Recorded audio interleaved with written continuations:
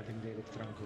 Pyetja është jashtëzakonisht e mirë, po para se të dal te përgjigjja në këtë pyetje desha të them që fillimisht për atë se çfarë kishte thënë ai ambasadori në Serbi, pra që ishte mik i Vuçiqit apo jo, harrova emrin e tij.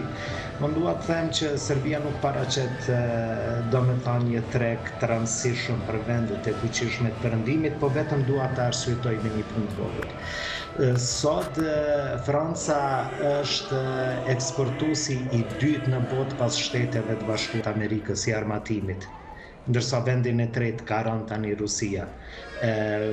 Shitjet kryesore i ka në në Azi dhe në vende të tjera të botës, kështu që tregu serb, edhe këta si ia ngrisin peshën vetvetit, është një i vetë iluzion që janë duke ia bë vetit e s'janë duke e kuptuar pozitën e vet për shkak të melankolisë mini imperiale cilën e kanë në rajon.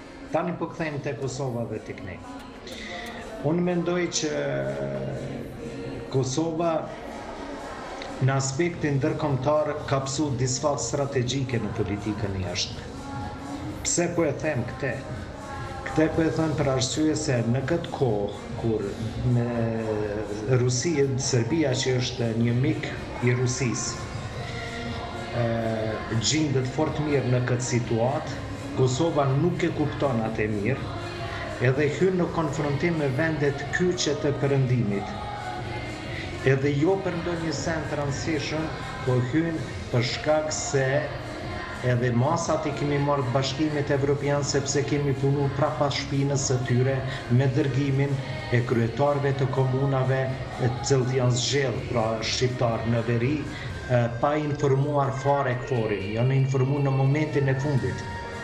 Edhe kjo ka prodhu një situatë të randë të sigurisë atje, në cilin është dashtë të intervenojë KFOR-i dhe pastaj KFOR-i ka pësu nga ekstremistat sërbë. Nuk është Esenca është këtu që Kosova ka fillu të bëhet një partner i pabesueshëm, një partner i cili punon prapa shpinës së aleatëve të vet. Edhe ne sot e kemi hum kredibilitetin në gjitha vendet e Perëndimit, vendet kyçe të Perëndimit Kosova nuk ka kredibilitet, po e them me keqardhjen ma të madhe, kurrë në jetë nuk kam mendu që Kosova ka me mbrri në këtë pikë, kurrë hiç. Asnjëherë. Për sa i përket veriut, Kosova ka bë, qeveria Kurti në vërtet ka arrit t'i bëj disa hapa të rëndësishëm, mirëpo përsëri edhe ato hapa nuk e kanë jep rezultatin cili po proklamohet. Hajde po fillojmë pe trajtojmë çështjen e targave.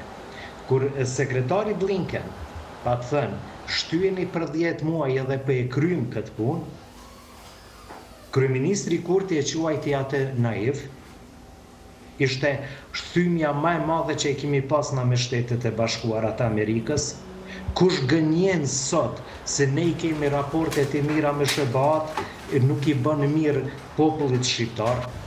as popullit të Kosovës, aty ka fillu thymja e madhe, edhe ne e rregullum çështjen e targave edhe të patent shoferëve pas trembëdhjetë muajve. Domethënë ky është rezultati jonë. Në anën tjetër, masat cilat janë marrë në veri, në rregull, Unë e mendoj që edhe këtu ka pësu Serbia një disfatë të vetën. Serbia ka pësu një disfatë se sidomos bas Banjskës, nëse e keni vrejt. Serbia asnjëherë nuk ka guzuar t'i dërgoj më trupat e veta ushtarake në kufit me Kosovën. Edhe ato nuk i ka dërguar për shkak të se i ka frikë Kosovën, Po ju ka i nuk i dërgon për shkak të Perëndimit. Pra ta qartësojmë vetveten ku jemi ne. Sakt. Kështu që pas Banjskës Serbia është në pozitë shumë delikate dhe ka kokën e lidhun sepse dihet fare mirë